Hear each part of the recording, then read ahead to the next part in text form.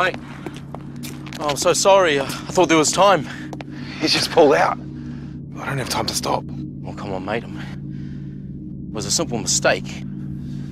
I know if I was going a bit slower. Please. I've got my boy in the back.